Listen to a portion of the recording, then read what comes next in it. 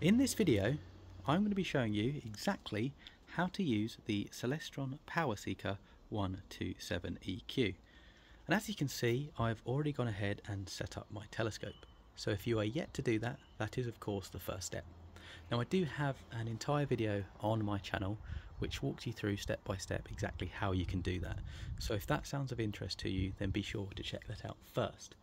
Otherwise I now want to show you how you can get the most out of this telescope and give yourself the best chances of observing the moon and the planets of the solar system, which is what this telescope is best for. But before I begin, I do just want to quickly discuss the mount and how this telescope is designed. Now EQ, which we can see on the side here, that stands for equatorial. Now, this is a style of mount that gives you the ability to track objects manually across the sky. You are in complete control, but there are reasons for this design too. As Earth turns on its axis, the sky appears to rotate.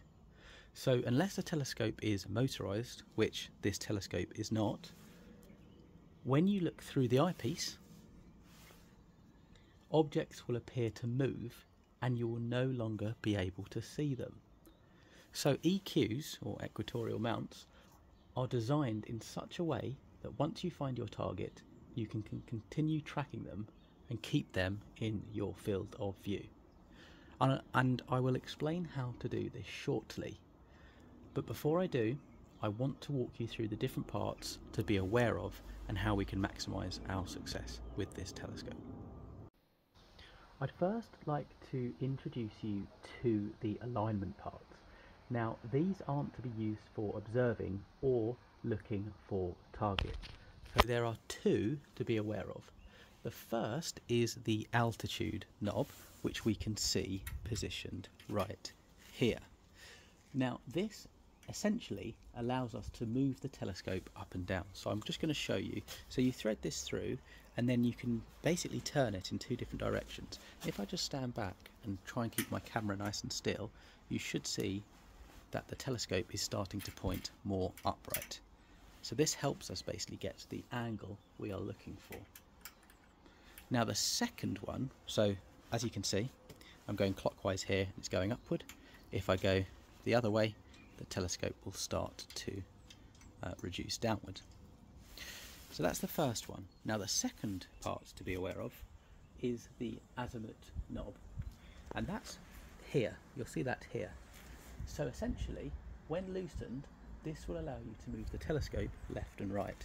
So I'm just undoing that now, going counterclockwise, and you should see I can now move this left and right. When that's locked, the telescope will be locked into position.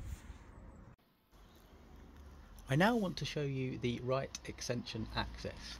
Now I'm going to step around the telescope in order to show you this and it's this knob here we are focusing on okay? So if I unscrew this that was tight to begin with then that allows us to move our telescope in this direction. Now of course that will help us to identify different objects. Once we've found our object we want to secure this in place. So I'm going clockwise in order to do that and now this telescope will not move on that particular axis. We have the declination axis, which is this one here. It's the one above, if you can imagine it that way. Okay. Now, this allows us to move the telescope towards and away from a celestial pole. So again, we want that loose when looking for targets and then locked when we're observing. So I've just unscrewed that and you'll see now this moves on that particular angle. And then we have our slow motion controls, for which there are two of them. One here and one here. Now we use these once we have found our target for centering and for fine adjustments. And you basically just use them uh, accordingly like this. And it basically just keeps objects that we are observing within our field of view, it's making micro adjustments. So now we need to align our finder scope. So I've just turned the telescope around and I've also manipulated the mount and the axes because what I'm trying to do here is I'm trying to focus on this chimney. That's a good kind of distance for something for you to focus on.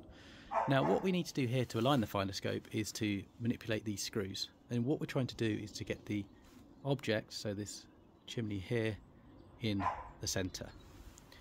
Now once we've kind of done that we can then move between the finder scope and the eyepiece and basically ensure that the object is centered in both. So with that all in mind, we can begin to use the telescope. Now the first thing you're going to want to do is to ensure that the telescope is balanced. So make sure that all of the tripod legs are fully extended uh, and make sure they are all in the same place. You also want to make sure you're on a level surface. Otherwise you're going to lose the stability and it will just make tracking objects far more challenging, if not entirely impossible. It's now time to set your latitude. So in order to do that, just head over to Google and search for your location and then the word latitude and that will give you the number you're looking for and at that point you just need to set your latitude with the dial until it matches so you'll see here as I do this you'll get that set accordingly. We now need to move on to the declination axis, which is this one here. Again, make sure it's unscrewed and you'll notice that that then moves the telescope. Hopefully you can see that. Like that. But once you've got that in position, again, lock it in place. You now should be polar aligned. Now it's important to remember that you shouldn't touch the mount from this point forward. If you move the mount for whatever reason, then you will need to polar align again. So, we're polar aligned, what do we do? First, you want to find a target. So as an example, and perhaps the best thing to observe with this telescope is the moon. Now, I recommend starting with the lowest eyepiece. So with this particular telescope, it's going to be the 20 millimeter. This will give you the widest field of view.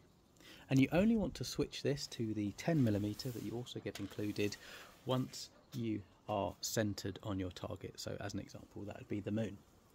You want to leave the Barlow lens off completely until you are focused on your target and want to magnify in.